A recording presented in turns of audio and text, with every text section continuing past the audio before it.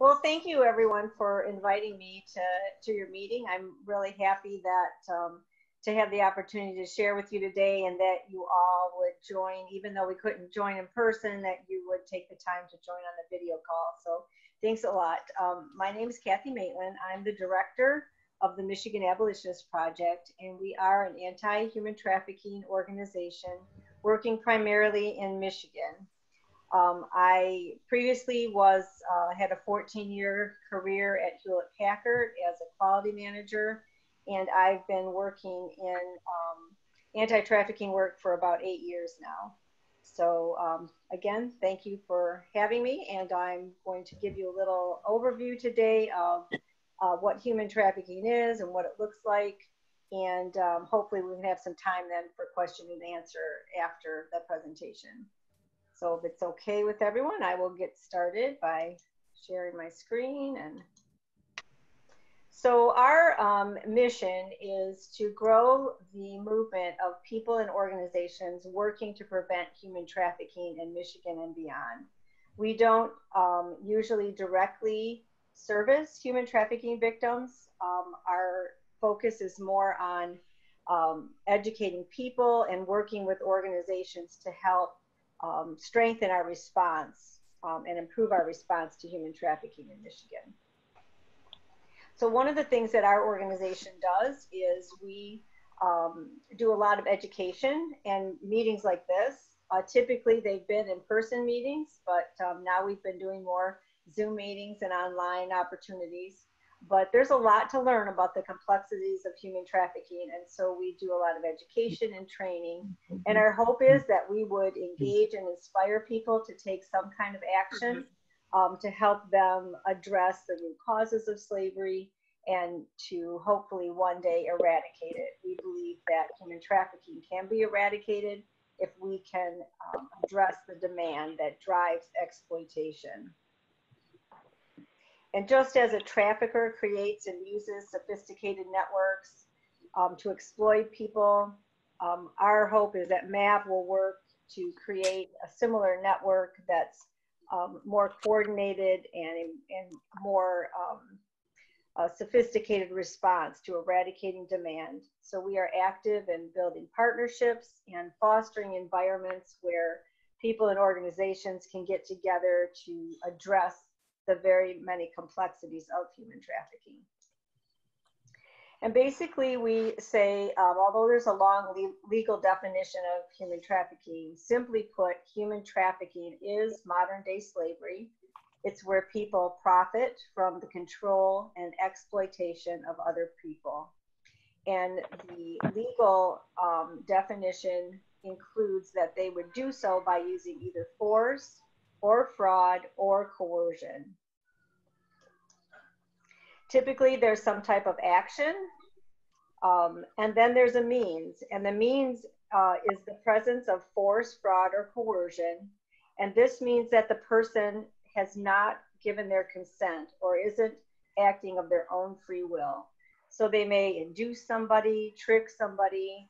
Um, often there's uh, traffickers that are recruiting, um, especially young people through social media um, harboring, transporting, providing, um, say, uh, a home or food to somebody who might be homeless. And they, those actions, then they use a means, either force or fraud or coercion, to either commit a commercial sex act or to um, labor traffic or other type of services. Now, one thing that's important to note is that when it comes to the commercial sex exploitation of minors, of children, there does not have to be a means um, proven. Any child who is exploited for commercial sex is automatically considered a victim of human trafficking. Um, if it's an adult over 18, then there needs to be some type of means that is proven, either force, fraud, or coercion.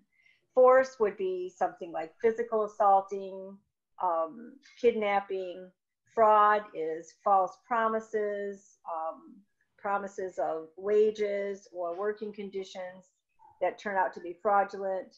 And coercion is like threats of harm or, or debt bondage or psychological manipulation. Um, coercion could also be um, using drugs, using drugs as a means to keep a person um, doing what you want them to do. And the thing about human trafficking is all over government, although governments all around the world um, pretty much agree that slavery is wrong and should not happen, um, we are finding that there's human trafficking existing and happening everywhere around the world. And it's all of its victims share one common essential experience, and that's the loss of their freedom. Human trafficking is said to be one of the greatest human rights causes of our time.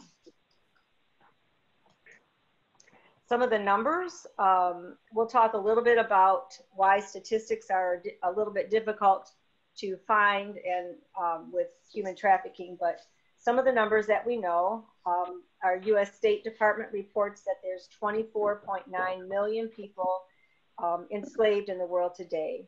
And that that is like one victim out of every 185 people. It's an underground criminal activity um, raising 150 billion dollars. Some say that it's um, the second largest, uh, the third largest. It's one of the largest uh, criminal activities in our world today, right after the drug trade and of more than um, it's been found in all 50 states in the United States, and of more more than 23,000 um, endangered runaways have been reported to the National Missing and Exploited Children organization. One in six of those runaways are likely victims of sex trafficking. Now, one of the problems with statistics um, you know, often people want to know, well, how much trafficking is going on in my community or is it in my neighborhood? And, and um, we'd like to, to know more statistics about the problem because it helps us understand the problem. But the one thing about human trafficking that's so different than other criminal activities is that it's widely underreported. Um, and that's why we lack reliable statistics. Um, and just to give you an example of um, what I mean by widely underreported. Um, you know, if I um, if I uh, go out to the to my car and find that it's been um, stolen or vandalized, um, I'm not ashamed to be call myself a victim of a crime. I'll call the police. The police will come and they will, you know, take down my information. They'll they'll help me solve the the problem that I have. My neighbors might feel sorry for me, lend me a car, but that's not the way it is with victims of human trafficking. They often don't know that they're a victim. They often don't see a way out of their situation and they don't call the police. They don't ask for help. They find their situation to be hopeless and often do not report to law enforcement or to anyone for that matters. So it's widely underreported. But even though it is widely underreported, we know from many experts that trafficking is a problem in all of our communities across Michigan, and it's growing at an alarming rate. And when you, you know, try to think about, well, why is this happening? You have to look at human trafficking as an economic situation. It's, it's a problem of supply and demand. Um, if it's fueled by a demand, for cheap labor and services and are fueled by a demand for commercial sex. Traffickers are not just mean people doing this to be mean. They're doing it to make money.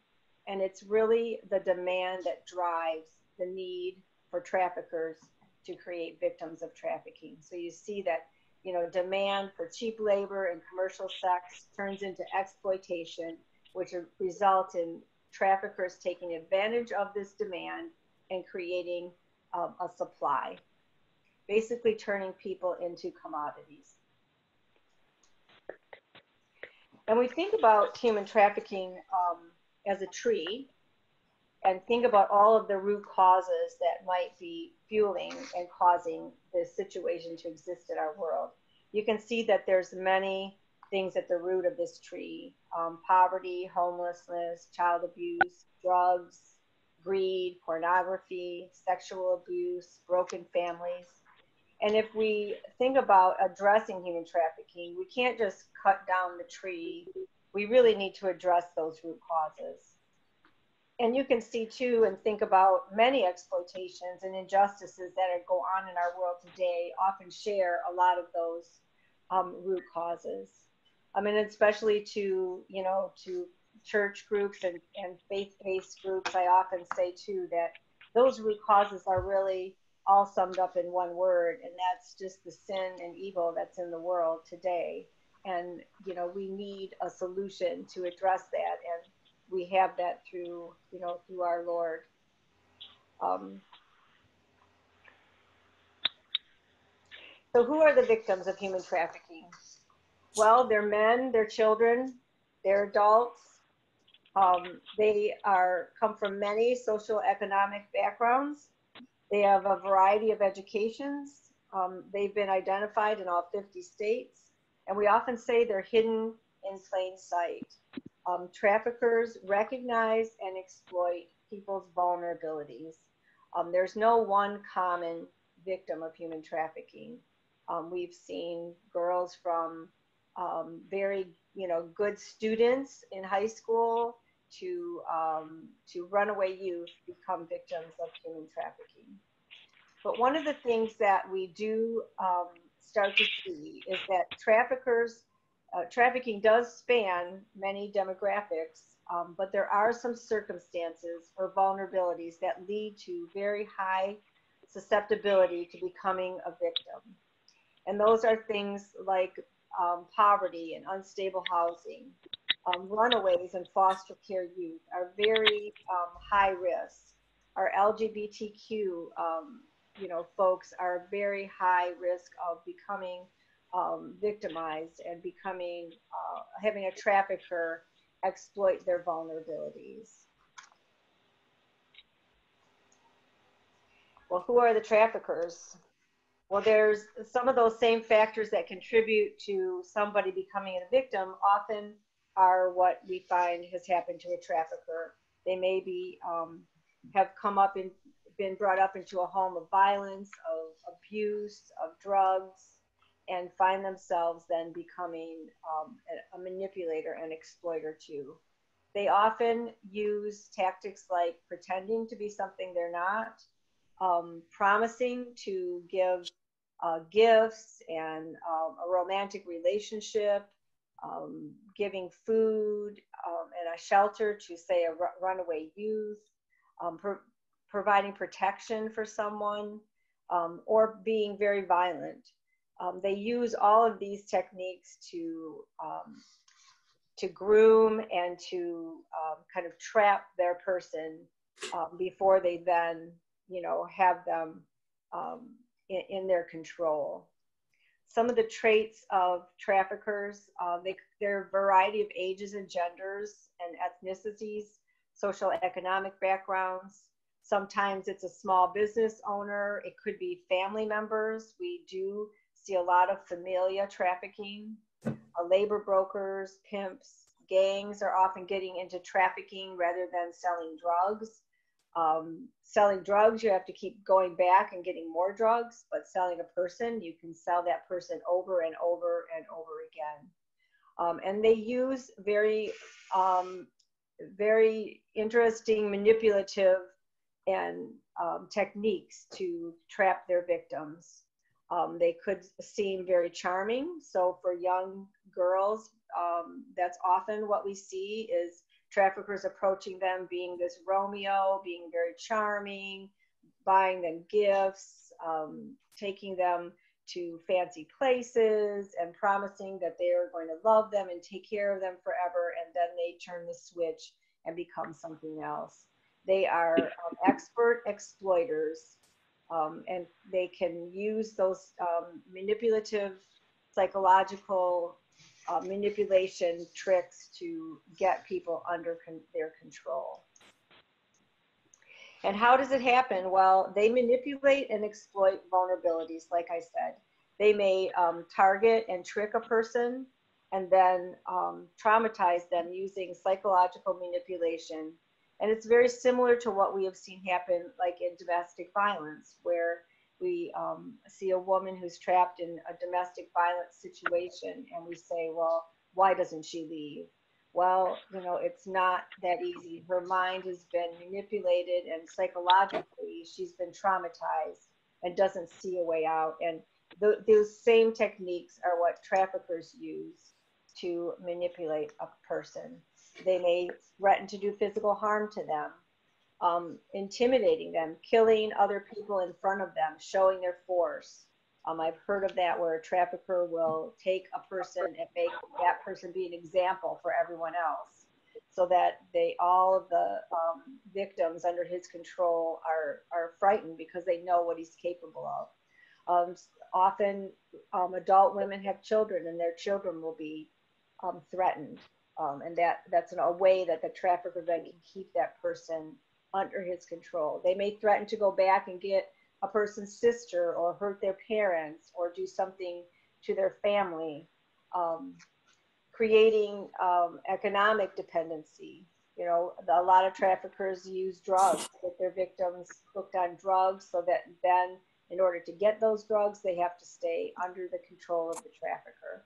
And so this, you know, power and control wheel is very similar to what we've seen in domestic violence, that Stockholm syndrome, um, extreme, extreme trauma and coercion and psychological uh, manipulation is what keeps people um, under the control of the trafficker. So often they're not locked up. They may be uh, young girls going to school, young boys going to school.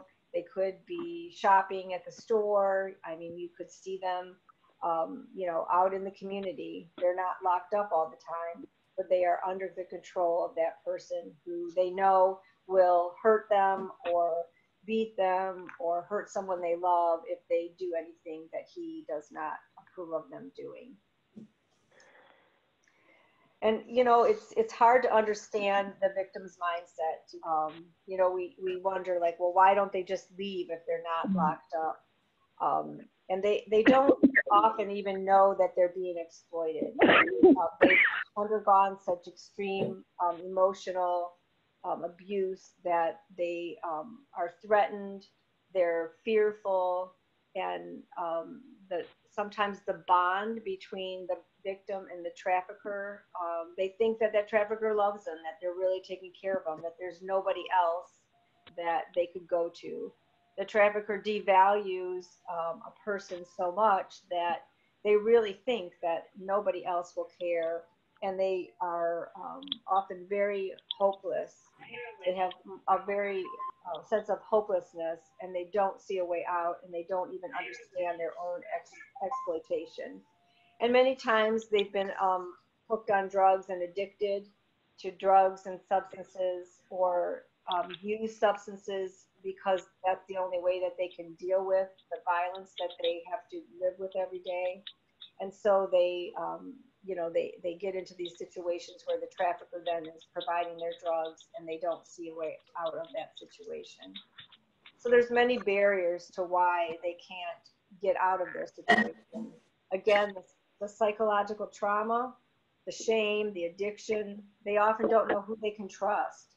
Um, trafficker will say, you know, no, nobody, you know, law enforcement is, is going to just arrest you and put you in jail. You can't trust them.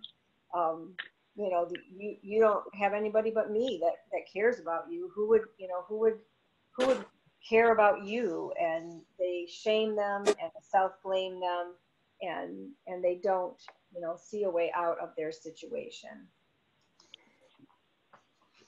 Where it happens, well, in Michigan, we see um, very many different forms of human trafficking, and it happens in big cities and small cities. It happens in, you know, all across our state, from the big city of Detroit all the way to, um, you know, tribal communities in the Upper Peninsula. It happens in small towns and big towns. Um, many of the, um, the typical places we see trafficking in Michigan is through domestic servitude. Um, so, so people who are um, brought into a home to care for children, to uh, clean the house, and this type of trafficking is often very difficult to find because the person is usually confined to the home.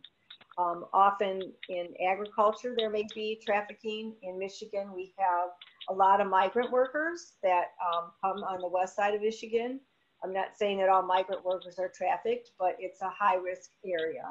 And it's not um, highly regulated, so nobody's really checking on those camps and, and um, farms.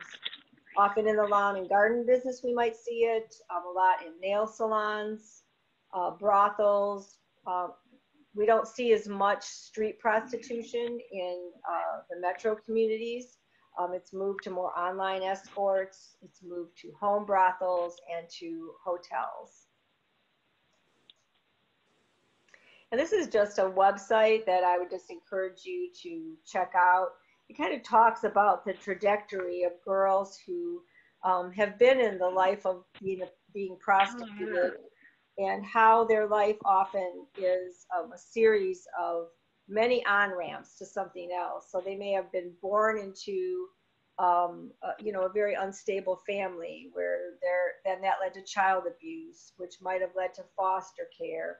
And so this kind of, you know, on ramp into more um, high risk situations and more um, risk of becoming victimized and there's very few off ramps into something that would be more helpful. Um, and so it's just something that, you know, to consider as you kind of think of this, you know, life, this on ramp of somebody who's just been caught in this life of exploitation. You know, what are the ways that we could reach and create off ramps to help people, you know, earlier on, you know, just dealing with child abuse as a community or, or helping um, foster kids who, um, kids who age out of foster care, you know, many of them become trapped into some type of uh, a crime or commercial sex um, because they don't have anywhere else to go or anything else to do, and traffickers take advantage of those vulnerabilities. Some of the things that you can look for, um, again, we often say that victims are hidden in plain sight. And so it, as a community, as we become more educated about trafficking, you know, we can be more alert to watch for things that we think, you know, don't look right. And if we see something that doesn't look right, we should say something and call somebody. Um, you know, you may be helping and saving a person. Um, looking for somebody who appears to be being controlled by another person, um, especially somebody who's very young, under 18, who might be providing of commercial sex acts or being um, drug into pornography.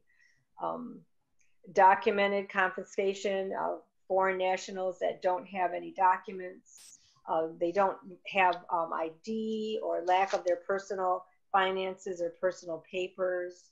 Um, it looks like somebody's monitoring them, always speaking for them. Um, you know, those type of, of things, nervousness, um, there's you know many signs that somebody might be in a situation that um, might be a trafficking situation. And some of the things that you might ask someone if you came in contact. Um, a lot of times, like I said, they don't know that they're even a victim of exploitation. Um, you know, d- does anybody control or supervise your work? Are you working? Um, what are your working conditions? Do you feel safe? What would happen if you left your job? Um, are you being paid what you were promised? Does somebody else have your money? Those type of things, um, you know, might help get some information from somebody to know if they might be in a situation where they might need some help. Um, and one thing that we always want to stress, um, you know, definitely if you would see something, you know, you want to call um, law enforcement. Don't push yourself in an unsafe situation. Um, traffickers are violent and they will, um, you know, do violent acts, and and it's it's not um, in most of our best interest to intervene in a situation that could become pretty um, violent. So you know, call the law enforcement, call the human trafficking hotline if you see something. Um, if you are in contact with a victim, if somebody would say, come to your church and disclose to you, um, you know, don't, don't try to pry uh, information about their traumatization, the, what they've been through, but just listen and try to make a person feel safe. Um, they often don't know who they can trust. And, and so many times their trust has been let down for so many times in their life.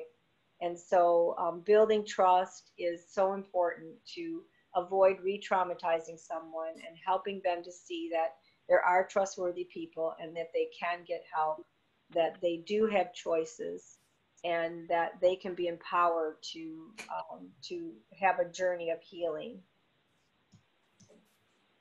Again, if you um, if you have would like any information or have um, suspect trafficking, this is the human trafficking hotline number 888-373-7888. Um, it's not like a 911. If you suspect something and have questions about a situation, you can call this number and you know let them know and, and ask for resources or help. Um, again, I you know definitely if you see uh, a trafficking situation, that's the number to call. Or in an emergency um, 911 call, you know definitely call your local police. And one of the things that I would encourage everyone to do is take some kind of action to um, to address human trafficking. Um, there's a website called slaveryfootprint.org, and I would encourage you to go out to that website. Uh, you can take a little quiz, and it, it educates you on some of the products that you eat, use, and wear every day. And many of those products that we eat, use, and wear every day have slavery baked in the, si- the supply chain at some point.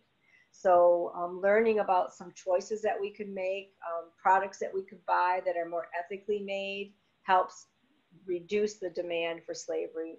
Because honestly, we all are um, part of the demand for slavery. We all like cheap prices in the US. We all like chocolate that's mostly made by um, children who are denied education and freedom. So there's uh, choices we can make to help, you know, change that, to help reduce the demand. Buying fair trade and buying products that are um, made by survivors and supporting survivor-led um, enterprises. And then, you know, um, you know, reducing the, the view of pornography. Fighting the, the Fight the New Drug is an excellent um, organization and website that is educating so many people on the harms of pornography and what how it's fueling a lot of the exploitation in our world. So taking some kind of action because we all are the customer in some regard, and it's dry, that demand is what's driving you know human trafficking. All right, so I've talked for a while. Now I'm going to let you um, ask some questions, or if you have any comments for me. What was that phone number again? Um, yeah, let me go back there and there it is 888 373 7888. Okay, thank you. Thank you. So have um, so have you heard much about human trafficking before this presentation? I'm just curious what um, everyone's kind of understanding is about about human trafficking. Do you know someone named Pat Bell, a man? Um, it doesn't. It's not ringing a bell. No. Because he is in. Um, I don't want to say he's into it, but he uh, he works for uh, sex sex trafficking, and he's placed in Romeo. Oh, okay. He's no. Uh, he's what what organization does he work with? Um, I'm not really sure. I haven't talked to him in a long time. It's probably a year ago. He was his, his uh, wife was in the hospital the same time my husband was, and we got talking. Oh, okay. He's gone to Africa and been to places where they uh, get the girls, you know, keep them safe and that kind of stuff. Oh, okay. Yeah, well, most most of our work is in Michigan, is here domestically. Um, we do support. We have products on our website that we support uh, um, survivors um, from Cambodia who have made some products, and we purchase them to help support that. But typically, our um, main focus is in Michigan here domestically. Well, he was saying that they were they were thinking of getting some kind of a refuge place somewhere in the area by Romeo. Mm-hmm. Oh, great. So it's needed. There's there's uh, you know we we definitely need more resources for victims of trafficking. There they do struggle in finding um, help and, and resources. Yeah. You know what type of refuge places we have in the state? Like, is it individual families that will support someone for a while as they transition with therapy and so forth? Or is it Mm, actual physical Sometimes, buildings? yeah, sometimes. I mean, I, I had someone in my home for a year, and I know some people that have done done that. There are some homes that have come uh, been um, launched in the last few years. There's two in Oakland County that are um, residential treatment centers just for women, adult women um, of trafficking. Vista Maria down in Dearborn has a very good program for minors.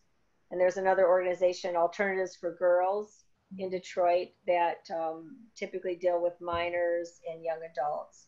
So we are seeing, um, you know, we are seeing more services for victims, but it's um, the transitional piece is very difficult because it it um, their journey is very long a lot of times, and you know they've um, they uh, they sometimes have criminal records because they were forced to commit crimes. Uh, a lot of times their credit is ruined because the trafficker does things in their name. Um, you know, so I I know a young lady who for years couldn't open a bank account because of her credit was so bad, and it's very difficult to get those things cleared up. So aside from just the traumatic, you know, healing they need to do um, psychologically, part, yeah. emotionally, they have all these, you know, practical things that are that are barriers. Um, you know, it's hard to get a job when you have a felony on your record. You know, Yeah. so I have a friend that works down at, Al- well, he volunteers down at Alternative for Girls once a week. So been doing Mhm. that a long time, but I didn't realize they were involved in that as well. I knew Yeah, some other areas they were involved with. but, Yeah. uh, Yeah, they they um, it's a great organization. They do a lot of preventive work too. They do street outreach and work with you know young girls, trying to you know prevent, you know, teach them the signs of uh, Mm. you know what traffickers try to do, and you know we and we do a lot of that too. Just trying to you know reach out to young people to say don't you know get caught up in the promises and the the, the lures because traffickers are good at what they do. mhm.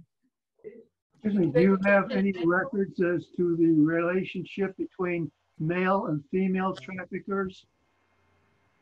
Um, you know, typically uh, we see more males, but um, a lot of times the a lot of the women who have been trafficked often get turned into traffickers because they can recruit the women better, and um, so we do see that transition happening where. Uh, someone might have been trafficked for a number of years, and that person then starts to be a recruiter as well um, I don't know. I don't know if I could, you know, like I said, there's not reliable statistics. I don't know if I could say, you know, definitively that there's, you know, more men than women, but mostly I see that traffickers are men exploiting women. And definitely when we start, when we talk about commercial sex, um, mostly, mostly men are the, the, on the demand side are the sex buyers. When you were doing your PowerPoint, did you say chocolate was something that was often um, made Yeah. by people that are being trafficked? Um, so uh, I, I use that as an example of one item that you know that we all probably you know use. Like we bake chocolate chip cookies and we buy chocolate things. Um, much of the chocolate in the world comes from the Ivory Coast in Africa, and many children um, are uh, exploited to raise those cocoa beans, the, cacao, and um, and that that is then you know turned into chocolate. So companies like Nestle and um, you know uh, Hershey's, um, a lot of those companies have not taken care to make sure that their supply chains are um, ethical and that that slavery is not happening in that, that their supply chain. So if you um, if you notice, like when you go to the grocery store, you might see some chocolate that has um, like rainforest compliant or fair trade. Uh, I know that at Aldi's they have fair trade chocolate, um, and Whole Foods, places like that. You it, you'll see chocolate that's fair trade, And what that means is, is that somebody has um, looked in that supply chain and made sure that everybody who was involved in making that product um, was was treated fairly and was um, and that received a fair wage and that, that there was no exploitation going on. Um, there's been a lot of um, there's been progress with some of the big chocolate companies like Nestle's and Hershey's, but it's, we're still not there. Um, you know, we've done, you know, written letters and, and the consumers, consumers vote with their money, right? So, um, you know, putting pressure on companies to become more ethical in their practices and care about their supply chain is what needs to happen. Um, you know, we, we used to make a lot of products here in the United States where we have labor practices, but much of our stuff is made in China now, right? Or comes from other countries. And, um, and that's where we need, you know, really need to put the pressure on companies to look at those supply chains. And if there's slavery, you know, if there's abuse going on, that, that they should um, address that and not, not, um, you know, take advantage of that. Does that mean like when you go to the store, if it says free trade, is that what you said, free trade? Fair trade, yeah. Fair trade. Oh, But if it doesn't, If it doesn't, then you don't know. I guess then, you know, then there's research you can do. There's, there are websites where you can look up different companies. And, you know, what I do is um, I'll go to a company's website and, and, and see if they at least are have policies in place where they're saying, um, you know, recently I, I bought some clothes from Kohl's and I noticed that on some of the products they said that the cotton was um, was sourced with sustainable sustainability, meaning that they were making sure that there were good practices in place. And I thought, oh well, that's progress. You know, a lot of times you don't know you don't know where something comes from, but you know, there uh, definitely companies are starting to feel the pressure from consumers uh, to to have policies in place. And so, um, if you go to say IKEA's website, you'll see they they talk a lot about where they get the wood, where they get the cotton, where they get their products, and how that they work with farmers. They they um, they research where their products came from. Other companies don't really seem to care. Uh, so you know that that's the kind of thing where just you know researching the things that you like to buy. You know we started with coffee because we drink coffee every morning and so we buy fair trade coffee. Um, and then chocolate was another thing that when we buy chocolate chips i make sure that it says it was ethically sourced or it's fair trade uh, you know in my baking. So you know it it um, you know as a consumer you know think about the things that you use and just kind of start one by one and looking into well what you know if you shop at a certain store what what are their policies? You know do they care about where these things are made and if there's slavery you know in the the production of that product mm-hmm. Mm-hmm. Kathy, I don't know if this was asked before, but what made you get into this effort initially? um, i was at some things like this Uh-huh. um, I was, I had, as I mentioned, I was working at Hewlett Packard and I, you know, I went to, um, I think it was a leader, the Global Leadership Summit uh, that Willow Creek puts on years ago. And I first learned about um, trafficking in another country. Yeah. And um, I just couldn't believe it. I was just so, um, you know, uh, sickened by it, but also just felt like here I've been raising my kids, you know, having a happy life, and all the while this has been happening, and people are being being abused and exploited, and so it just kind of, you know, raised a passion in me to start to be involved, and so I started to go on the websites and read more about it, and you know, decide to volunteer and I really didn't set out to be the director of an organization. I, I really didn't. Um, Sure. I I just volunteered Yeah, and I'll just, you you know when it's done. kind of happened. Yeah, that's, what- yeah, Okay, I've- I've done thanks. something similar in the past as well. But um, just for the others' information, like here in Hazel Park, we have a neighborhood watch group, which I belong to with other friends and so forth. And they, the, since the police meet with us every few months or so, they give us the statistics and they keep us up to date because there is a human tracking, trafficking task force among the police departments here in mm-hmm. Michigan. And they'll tell us what's happening at the hotels in the area or where the Oh. hot spots are. And I, I remember when I read an in-depth article a couple years ago that Detroit was the number two trafficking place in the country. Now, I don't know if it still is, uh, you know, because we're so close to the borders in a couple spots. But it- Yeah, we, we are, um, I mean, definitely we are a high risk state because we have big cities, Detroit, Grand Rapids. We've got roadways that go, you know, I-75 down to Yeah. Toledo, you know, so we, we definitely are high risk. The number two thing happened from, I think it kind of gotten, it was, it was taken out of context, context a number of times Mhm. um, what it came from was it was a sting that was done a few years ago and they had um, it, it was called um, operation innocence i think and they the they uh, um, fbi around very many major cities in the united states all went out on one day and um, raided uh, pro- some prostitution rings and they were specifically looking for minors who were being abused and so Detroit had the second largest number of minors rescued Oh, and um, traffickers and pimps arrested. mhm. Um, so it could mean that we're number two, but it also could mean that our law enforcement did a really good job, you know, Yeah. that day. It, it doesn't really mean that. But, um, you know, definitely it's going on. And I think we're, you know, we're right up there with it happening in our neighborhoods. Mhm. Well, thank you for your insight.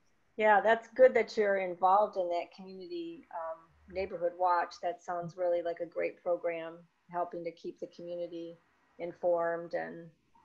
Yeah. um, Yeah, Nice to get the inside story since we do meet with the police department. I mean, you can read some things in the paper, but yeah, and to be a part of like you, all the things you mentioned on your sort of list of things to be aware of that's happening around you when you're out and about, and and and it's good to have those reinforcements. um, right, right. And you know, if people don't call, if people don't call and don't report, they often can't do anything. And so Yeah. um, that's really why law enforcement really does rely on the community. And they always tell us if you see something in your neighborhood and you're not sure, make that call. Right. whether the 911 or the non 911 number in your town, and let them make the decision. Right, Want to go Right. out and check it out. You know, you're That's not right. you just report what you see. That's your job, and let them make the decision. And who knows, might save a life along the way somewhere. that's right. That's good advice, real good. Yeah. Any other questions or comments? Oh, Oh, It's very interesting. very informative. Yes, it was. Enjoyed it. Well, we have, um, you know, I, I would pass out information right now if we were in the room together. But I could send you some, you know, some brochures and information about our organization. And uh, we have a little card that talks about the signs to look for and has the hotline number on it. So if you'd like, I could send that to your, um, to your church or to one of you. I don't know the best way to get it to you. Can you send any of those couple lists you had uh, to us to be emailed out, maybe that you showed on your presentation this Oh, sure. Yeah. A couple of those pages look pretty good. And boy, I wish I had that handy, but I couldn't write fast enough. You know. Yeah. Kathy, Okay, I think sure. if you, if you want to send it to me, I'm in charge of outreach. Okay. Uh, Send it to my home. I think it will get distributed faster that way than if it goes to the church. Yeah, I, Also, Kathy, we are sending you a check, uh, your organization, it will be in tomorrow's mail, so Well, thank you. we thank you appreciate very it. much for coming and sharing with us, and it was an eye opener. Thank you very much for coming. We appreciate it. Thank you. for- aw. Thank you, God God bless you. Okay, thank Thank you. Thank you. Thank you. Okay, stay safe. Bye. Bye-bye. Bye. Bye-bye. Bye-bye. Good night, everybody. Good night. Good Bye, night. everybody. Bye. Bye.